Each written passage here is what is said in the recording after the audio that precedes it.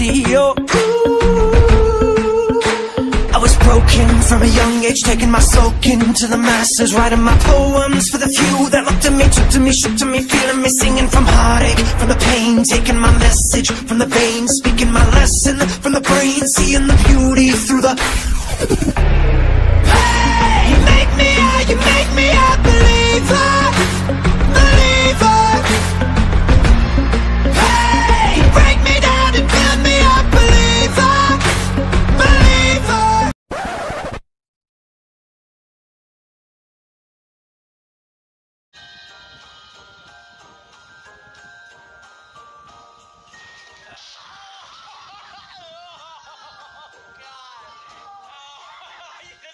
Irvin.